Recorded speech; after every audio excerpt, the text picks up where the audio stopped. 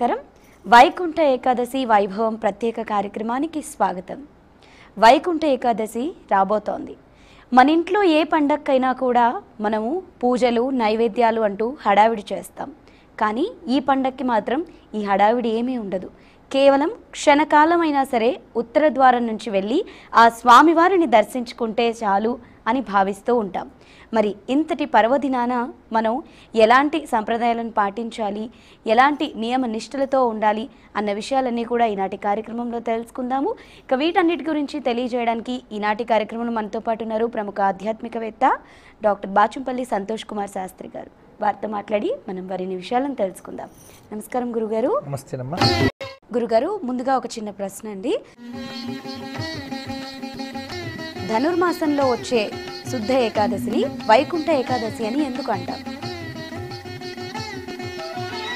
శరదిందు వికాసమందహాసాం స్ఫురదిందీవరలోచనాభిరామాం.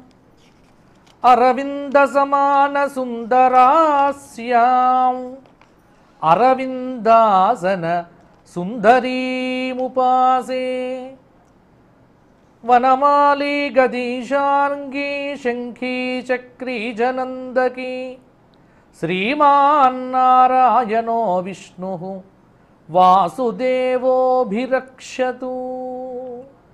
ధనుర్మాసం అనగానే సూర్యుడు ధనుస్సు రాశిలో ప్రవేశించినటువంటి సమయం ధనురాయణం ధనుర్మాసం. ఈ ధనుర్మాసం పరమ పవిత్రమైనటువంటి మాసం. ఈ ధనుర్మాసంలో వచ్చేటువంటి శుక్లపక్ష ఏకాదశిని వైకుంఠ ఏకాదశి అని పిలువరు. ఎందుకంటే ముక్కోటి ఏకాదశి వేరు వైకుంఠ ఏకాదశి వేరు ఈ పుష్యమాసంలో వచ్చేటువంటి శుక్లపక్ష ఏకాదశులు వేరు. సాధారణంగా పురాణాల్లో చూస్తే షడ్వింశతి ఏకాదశి మాహాత్మ్యం అనేటువంటి పేరుతో ఒక గ్రంథం ఉంది. అంటే వివిధ పురాణములలో చెప్పబడినటువంటి ఏకాదశి వ్రత మాహాత్మ్యములు. పన్నెండు నెలలు మనకు మొత్తం. చైత్రము వైశాఖము జ్యేష్ఠము ఆషాఢము శ్రావణము ఇలా వస్తాయి కదా. పన్నెండు నెలలకు ప్రతి నెలకు రెండు ఏకాదశులు శుక్లపక్ష ఏకాదశి కృష్ణపక్ష ఏకాదశి. ఇరవై నాలుగు ఏకాదశులు. పన్నెండు రెండ్ల ఇరవై నాలుగు. మరి ఇరవై ఆరు ఎక్కడి నుంచి వచ్చాయి? అంటే ఇంకొక రెండు ఏకాదశులు అధిక మాసంలో వచ్చి చెప్తారు అధిక మాసంలో వచ్చేటువంటి రెండు ఏకాదశులు. కలిపితే మొత్తం ఇరవై ఆరు ఏకాదశులు. ఈ ఇరవై ఆరు ఏకాదశుల పేర్లలో ధనుర్మాసంలో వచ్చేటువంటి ఏకాదశికి ఈ పేరు ఎక్కడ లేదు. ముఖ్యంగా వైకుంఠ ఏకాదశి అనేటువంటిది కొన్ని కొన్ని సందర్భాల్లో మార్గశీర్ష మాసంలో వస్తుంది. కొన్ని సందర్భాల్లో పుష్యమాసంలో వస్తుంది. ఈ పుష్యమాసంలో కూడా ఒకసారి శుక్లపక్షంలో రావచ్చు కృష్ణపక్షంలో రావచ్చు. ఒక్కటి మాత్రం వాస్తవం ఏమిటి అంటే వైకుంఠ ఏకాదశి ఎప్పుడు ధనుర్మాసంలోనే వస్తుంది. ధనుర్మాసంలో వచ్చేటప్పుడు మాత్రము శుక్లపక్షంలో మనకు కనిపిస్తుంది. అందుకే ఇక్కడ ఈ సంవత్సరం గనక చూసినట్లయితే పుష్య శుక్లపక్ష ఏకాదశి ధనుర్మాసంలో చివరి రోజు దాదాపు. దీని పేరేమిటి? వైకుంఠ ఏకాదశి అని మనం పిలుస్తున్నాం. కానీ దీనికి షడ్వింశతి ఏకాదశి మాహాత్మ్య గ్రంథము పుత్రదా ఏకాదశి అని చెబుతోంది. దీని పేరు పుత్రదా ఏకాదశి. అంటే ఈ ఏకాదశి రోజున పుత్రులు లేనటువంటి వారు పుత్ర సంతానం కావాలి అని అనుకునేటువంటి వారు ఎవరైతే ఉన్నారో వారు ఈ ఏకాదశి రోజున పుత్ర సంతానం కోసము ఈ వ్రతాన్ని ఆచరిస్తే పుత్ర సంతానం కలుగుతుంది. తద్ ఫలితంగా వంశం అనేటువంటిది వృద్ధి కలుగుతుంది. గోత్రం అనేది వృద్ధి చెందుతుంది అనే విషయంలో ఈ విధంగా చెప్పడం జరిగింది. కాబట్టి దీని పేరు పుత్రదా ఏకాదశి. గురుగారు మరి వైకుంఠ ఏకాదశి రోజున ఉపవాసం ఉండి తీరాల. ఉపవాసం ఉండి తీరాలా అన్నప్పుడు ఖచ్చితంగా ఉండి తీరాలి. ఏకాదశి అనేటువంటి వ్రతము నిత్యవ్రతమా నైమిత్తిక వ్రతమా అని చూస్తే ఏకాదశి నిత్యవ్రతం. ఇది నైమిత్తిక వ్రతం కాదు. అంటే సృష్టిలో ఉన్నటువంటి సకల ప్రాణికోటి ముఖ్యంగా మనుష్యులు అన్నగత ప్రాణులైనటువంటి మానవులు భారతీయ హిందూ ధార్మిక సంప్రదాయాన్ని సనాతన ధర్మాన్ని అనుష్ఠిస్తున్నటువంటి ప్రతి భారతీయుడు తప్పకుండా ఈ ఏకాదశి నాడు ఉపవాసం చేసి తీరాలి. దీనికి మినహాయింపులు లేవు. మినహాయింపులు ఉన్నాయి ఎవరికి వృద్ధులకు గర్భిణీ స్త్రీలకు చిన్న పిల్లలకు రోగగ్రస్తులకు మాత్రమే నియమం తప్ప ఇంకా మిగతా వారందరూ శక్తి ఉన్నటువంటి మనబోటి వారు. ఖచ్చితంగా ఉండాలి. ఇప్పుడు నువ్వు ఉండాలి ఖచ్చితంగా. తప్పకుండా. నేను ఉండాలి. ఏ ఏ- ఏకాదశి ఉపవాసం ఉండకపోతే ఏకాదశి నాడు ఎవడైతే అన్నం తింటాడో వాడు స్వమాంసం భుజించినట్టు అని శాస్త్రంలో చెప్పారు. తన మాంసాన్ని కోసుకొని తింటే ఎంత పాపమో? ఏకాదశి నాడు అన్నము తింటే అంత పాపము. ఈ మాట చెబితే చాలామంది కష్టపడవచ్చు కానీ ఉన్న విషయం చెప్పాలి కాబట్టి చెబుతున్నా ఏకాదశి నాడు కావాలి అని అని అన్నం తినేటువంటి వాళ్ళు మాత్రము పాపం చేసిన వారే అవుతారు తప్పకుండా. కాబట్టి ఏకాదశి అనేటువంటిది ఉపవాసం చెయ్యవలసినటువంటి రోజు. ఇక ఈ సంవత్సరం మనకు ఈ పుష్యమాసంలో ధనుర్మాసం చివరి రోజుగా వైకుంఠ ఏకాదశి వచ్చింది. దీని పేరు వైకుంఠ ఏకాదశి దీని పేరు ముక్కోటి ఏకాదశి సాధారణంగా. ధనుర్మాసంలో ప్రాతకాలంలోనే అంటే సూర్యోదయాతు పూర్వమే నిద్రలేచి విష్ణు ఆలయాలకు వెళ్ళి ఆండాల్ తల్లి పాడినటువంటి తిరుప్పావై పాశుర ప్రబంధమును చదివి భగవానుడికి బాలభోగాదులు నివేదన చేసి పంచపంచ ఉషక్కాలంలోనే చక్కగా అభిషేకాదులు నిర్వర్తించి సూర్యోదయాతు పూర్వమే విష్ణు ఆరాధన శివారాధనలు కనుక చేస్తే అది ధనుర్మాసం వ్రతం. ఈ ధనుర్మాసం వ్రతంలో ఈ ఏకాదశి వైకుంఠ ఏకాదశిగా వచ్చింది కాబట్టి తప్పకుండా వైకుంఠ ఏకాదశి రోజున ప్రతి ఒక్కరూ ఉపవాసం చేసి తీరవలే. శక్తి ఉన్నటువంటి వారు అన్నం తినకండి. దానికి ప్రత్యామ్నాయంగా ఏదో ఒక కొద్ది ఆహార పదార్థం తీసుకుంటే సరిపోతుంది. గురుగారు మరి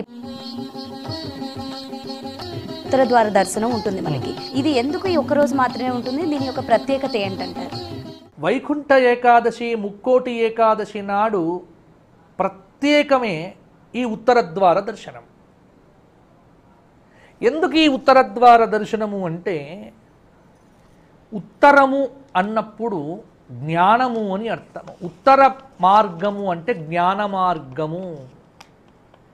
మనకు సంప్రదాయంలో పూర్వమీమాంస ఉత్తరమీమాంస అని రెండున్నాయి. పూర్వమీమాంస కర్మను గూర్చి చెబితే ఉత్తరమీమాంస బ్రహ్మతత్వాన్ని గూర్చి చెప్పింది. వేదాంతము. జ్ఞానాన్ని బోధించేటువంటివి కాబట్టి ఉపనిషత్ ప్రతిపాదితమైనటువంటి జ్ఞానమును పొందటానికి చేసే సాధన ఈ సమయం కాబట్టి ఉత్తర ద్వారము. అంటే మనమంతా కర్మ మార్గము నుండి జ్ఞాన మార్గము వైపు ప్రయాణం చెయ్యాలి అనేది అంతరార్థము. అదంత సులువైనటువంటి విషయం కాదు. సూర్యుడు కర్కాటకంలోకి ప్రవేశిస్తే దక్షిణాయనం. కార్ముకంతు పరిత్యజ్య జషం సంక్రమతే రవి ఇది శాస్త్రం.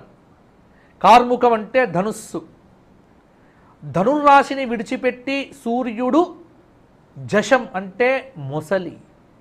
మకరంలోకి ప్రవేశిస్తే ఆరు నెలలు ఉత్తరాయణం. ఉత్తరాయణ పుణ్యకాల ఆరంభం ఇప్పుడు. ఒకటి. మరి దేవాలయంలో ఉత్తర ద్వార దర్శనం ఏమిటి? అంటే దక్షిణాయనం అనేటువంటిది పితృదేవతాపరము ఉత్తరాయణం అనేటువంటిది దేవమార్గము ఇది కర్మ మార్గము ఇది దేవ మార్గము ఇది పితృమార్గము ఇది దేవ మార్గము అని రెండు చెబుతారు. దేవ పర్వములన్నీ కూడా ఆరంభమవుతాయి ఉత్తరాయణం నుండి. దక్షిణాయనమంతా మహాలయ పక్షములు తర్వాత దక్షిణాయనం కర్మకాండకు ప్రాధాన్యం ఇచ్చేటువంటి పండుగలన్నీ కూడా వ్రతాదులు నోములు ఇవన్నీ కూడా చేస్తారు. కాబట్టి ఉత్తరద్వార దర్శనము అంటే ఇక్కడ సూర్యుడు తులలో ఉన్నప్పుడు ఇక్కడంతా సూర్యుడికి సంబంధించినటువంటి పండుగే ఈ పండుగ. సూర్యుడు తులలో ఉన్నప్పుడు మనకు కార్తీక మాసం వస్తుంది. కార్తీక శుక్లపక్ష ఏకాదశిని ఏమంటాం మనం? ఉత్థాన ఏకాదశి అంటాం. ఆషాఢమాస శుక్లపక్ష ఏకాదశిని ఏమంటాం? శయనైకాదశి అని పిలుస్తాం. అంటే ఆషాఢమాసంలో శయనించినటువంటి నారాయణుడు క్షీరసాగరంలో కార్తీక మాసంలో నిద్రలేస్తాడు. దీన్నే చాతుర్మాస్య వ్రతము అంటారు. నాలుగు నెలలు చాతుర్మాస్య వ్రతం చేస్తారు. ఆషాఢమాసము నుంచి కార్తీక మాసం పర్యంతం. కార్తీక శుక్లపక్ష ఏకాదశి నాడు లేచినటువంటి దామోదరుడిని దేవతలంతా ఈ వైకుంఠ ఏకాదశి రోజున వైకుంఠమునకుండేటువంటి ఉత్తరం వైపుండే ద్వారము తెరిస్తే సనక సనందన సనత్కుమార సనత్సుజాత వశిష్ఠ వామదేవ జాబాలి కాత్యాయన మార్కండేయాది మాననీయ మహత్తర మహర్షులు దేవతా గణములన్నీ వెళ్ళి ఈరోజు వైకుంఠానికి ఉండేటువంటి ఉత్తర ద్వారము ద్వారా భగవానుణ్ణి దర్శిస్తారు. దానికి సంకేతంగానే ఈ పండుగ ఎక్కడ మొదలైంది? శ్రీరంగ క్షేత్రంలో ప్రధానంగా మొదలైంది. అందుకే వైష్ణవ దివ్య దేశాల్లో దివ్యపదంగా అత్యంత శక్తివంతమైనటువంటి పుణ్యప్రదేశంగా వైష్ణవ సంప్రదాయవాదులంతా భావించేటువంటి శ్రీరంగధామం. శ్రీరంగంలో చూడాలి ముక్కోటి ఏకాదశి ఎంత వైభవము ఏమి వైభవము? ఆ రంగనాథుడిని ఈ రోజున ముక్కోటి ఏకాదశి రోజున ఉత్తర ద్వారము నుంచి తీసుకొని వచ్చేటువంటి సమయంలో లక్షలాది జనం చూస్తారు. కాబట్టి వైకుంఠము అంటే శ్రీరంగ క్షేత్రము అలాగే వైకుంఠము అంటే తిరుమల. తిరుమలలో కూడా ఉత్తర ద్వారం ఉంది. మనం ఆనంద నిలయానికి వెళ్ళేటువంటి సమయంలోనే ఉత్తరం వైపున ఉత్తర ద్వారం అంటూ ఒకటి పెడతారు. దాని లోపటి నుంచి వెళ్ళి అలా ఇలా తిరిగి బయటకు వస్తాం. కాబట్టి వైకుంఠ ద్వారము ఓ తెరుస్తారు తిరుమల క్షేత్రంలో. తిరుమలలోనే కాదు భద్రాచల క్షేత్రం. భూలోక వైకుంఠంగా మనకు తెలంగాణకే తలమానికమైన అద్భుతమైనటువంటి క్షేత్రం భద్రాచల శ్రీరామచంద్ర సీతారామచంద్ర స్వామి వారు శ్రీరామచంద్రస్వామి ఆయన రామచంద్రుడు. ఆ రామచంద్రమూర్తిని ఉత్తరద్వార ద్వారా ఎంతోమంది దర్శిస్తారు. అలాగే గోదావరి తీరాన్ని ఆనుకున్నటువంటి మా ధర్మపురి నరసింహస్వామి స్వామివారికి ఉత్తరద్వారం ఉంది. ఈ రోజున ఉత్తరద్వారం తెరిస్తే ఆ లక్ష్మీ నరసింహస్వామి వారు ఊరేగింపుగా ఉత్తరద్వారం నుంచి బయటికి వచ్చేటువంటి సమయంలో వేలాది జనం చూసి పులకించిపోతారు. కావున ఇది సంప్రదాయము. ఈ రోజున ఉత్తరద్వారము ద్వారా భగవానుడైనటువంటి నారాయణుణ్ణి కనుక దర్శిస్తే వాడికి పునర్జన్మ అనేటువంటిది లేదు అని ఆగమశాస్త్ర గ్రంథాలు చెబుతూ ఉన్నాయి. ఈరోజు విష్ణు సహస్రనామ స్తోత్ర పారాయణం చేసి గేయం గీతానామ సహస్రం ధ్యేయం శ్రీపతి రూపమజస్రం. భగవద్గీతను విష్ణు సహస్రనామ స్తోత్రాన్ని ఉదయకాలంలో శివ సహస్రనామ స్తోత్రాన్ని సాయంకాల సంధ్యా సమయంలో ఉదయం విష్ణు సహస్రం సాయంత్రం శివ సహస్రనామ స్తోత్ర పారాయణం. ఏకాదశి రోజున చేసి ఉత్తరద్వార దర్శనం కనుక చేస్తే వాడికి గ్రహబాధలు తొలగిపోతాయి. సకల శ్రేయస్సులు కలుగుతాయి. అంతులేని అద్భుతమైనటువంటి పుణ్యకర్మ సముపార్జన చేసిన వాడవుతాడు మానవుడు. అందుకే చెయ్యాలి. గురుగారు మరి వైకుంఠ ఏకాదశి రోజున మనం ఆ స్వామి వారికి ఎలాంటి నైవేద్యాలను సమర్పించాలి? యదన్నం యస్య భుంక్తే తదన్నం తస్య దేవత. ఇది వచనం. నువ్వు ఏం తింటే అదే నైవేద్యం. పండ్లు తిన్నామా? పండు నైవేద్యం పెట్టండి. కొద్దిమంది తెలంగాణ ప్రాంతంలో ఉపవాసానికి ఈ సగ్గు బియ్యం వాడతారు. బాగా అంటే ఇది ఉత్తర భారతదేశం నుంచి వచ్చింది మనకు. సగ్గు బియ్యాన్ని పోపు పెట్టకుండగా కిచిడి అని చేస్తారు. ఉపవాసానికి ఇది మహత్తరమైన పదార్థము అని అందరి భావన. దానిలోనే కాస్త వేరుశనగ బాగా దంచి వాటిని వేస్తారు మంచిగా కాజు బాదం అన్నీ ఇంకా ఎంత ఉంటే అంతే. అది అది అదే నైవేద్యం పెట్టండి. అది కొద్దిమంది తింటారు. కొద్దిమంది ఉపహారం అనేటువంటి పేరుతో చపాతీలు చేసుకొని తింటారు. కాబట్టి ఎవరు ఏది తింటే అది నైవేద్యంగా పెట్టడం అలవాటు. వైష్ణవ దేవాలయాల్లో చూడండి భగవంతుడికి ఉపవాసం ఏమిటి? ఉపవాసం మనకు ఆయనకు కాదు ఇది గుర్తుపెట్టుకోవాలి. కొద్దిమంది ఏకాదశి నాడు ఏది పెట్టరు? ఎందుకంటే మేము ఉపవాసం ఉన్నామని. భగవంతుడు ఏమనుకోడు? కానీ ఉపవాసం అనేది ఆయనకా ఉపవాసం మనకా? మనకు ఉపవాసం ఆయనకు నైవేద్యం పెట్టాలి. కాబట్టి చక్కగా పటిక బెల్లం గోక్షీరము బెల్లము అలాగే చెరకు ముక్కలు మిశ్రి కాజు పిస్తా బాదాం లాంటివి ఎండు ద్రాక్షలు వీటన్నింటినీ ఏకాదశి రోజున నివేదనగా పెట్టవచ్చు. లేదు మేము ఈ పదార్థము తింటున్నాము అంటే ఆ పదార్థం భగవంతుడికి నివేదన చేస్తే అదేమవుతుంది? ప్రసాదం అవుతుంది ఆ ప్రసాదాన్ని భుజించడం దోషం కాదు. కాబట్టి యదన్నం యస్య భుంక్తే తదన్నం తస్య దేవతాయా అని స్పష్టంగా శాస్త్రవచనం ఉంది కాబట్టి ఎవరు ఏది తింటే అదే పెట్టడం అనేది సంప్రదాయం. ఇది శాస్త్రవిహితమైన మార్గం. గురుగారు మరి ఏకాదశి రోజున మనం తప్పక పాటించవలసిన సాంప్రదాయాలు ముక్కోటి ఏకాదశి వైకుంఠ ఏకాదశి నాడు తప్పగా పాటించవలసిన నియమములు ఏమిటంటే అధికంగా మాట్లాడకూడదు వ్యర్థ సంభాషణ పనికిరాదు విపరీతముగా భోజనాదులు పనికిరావు భగవంతుడి యొక్క నామ సంకీర్తనము చెయ్యాలి. ప్రాతకాలంలోనే సూర్యోదయాతు పూర్వము తలస్నానం చెయ్యాలి. వీలైతే విష్ణు సహస్రనామ స్తోత్రము శివ సహస్రనామ స్తోత్ర పారాయణాదులు చెయ్యాలి. రోజంతా భగవన్నామ సంకీర్తనంతో గడపాలి. ఏవీ లేనటువంటి పేదవారికి ఎంతో కొంత దానం చెయ్యండి. గోక్షేత్రముకు వెళ్ళి గోవుల చుట్టూ ప్రదక్షిణములు చేసి గోవుకు గ్రాసం పెట్టండి. ఇవన్నీ కూడా చేయవచ్చు మకర సంక్రాంతి సమయాన అలాగే ఈ ముక్కోటి ఏకాదశి సమయాన వైకుంఠ ఏకాదశి సమయాన. మరి ఏమి చెయ్యకూడదు అంటే చేయకూడని పనులు చాలా ఉన్నాయి. చేయాల్సిన పనులు డూస్ అండ్ డు నాట్స్. చెయ్యాల్సినటువంటి పనులు ఇవైతే చెయ్యకూడని పనులు మధ్యాహ్నం నిద్రపోవటం మద్యము తాగటము మాంసము తినటము ఉల్లి వెల్లుల్లి తినటము అలాగే నిలబడి తినటము పరిగెత్తుతూ తినటము ఇవేవి కూడా చేయకూడదు ఏకాదశి రోజున. ఏకాదశి రోజున అన్నమును తినకూడదు మన దగ్గర. ఇవన్నీ కూడా ఖచ్చితంగా పాటించాల్సిన నియమములు.